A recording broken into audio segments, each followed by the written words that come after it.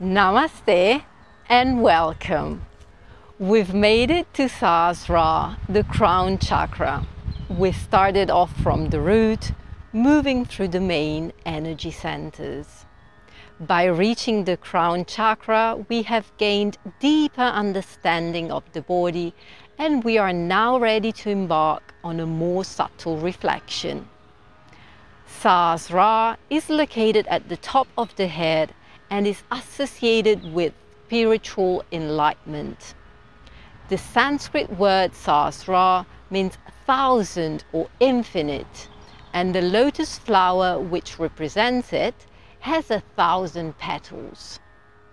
This image perfectly describes samadhi, the state of deep meditation where we can reach the highest stage of blissful oneness with the universe.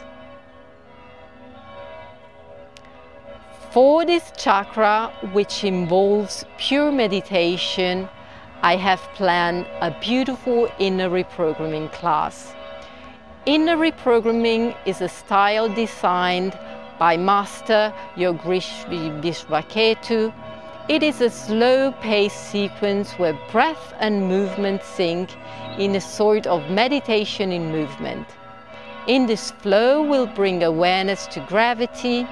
With the inhalation we'll focus on pranavayu, the upward energy. With the exhalation we'll work on apanvayu, downward energy. This sequence requires great concentration and through this practice we'll be able to reprogram the whole system. We'll release chronic stress and create new healthy patterns for both body and mind. Let's begin.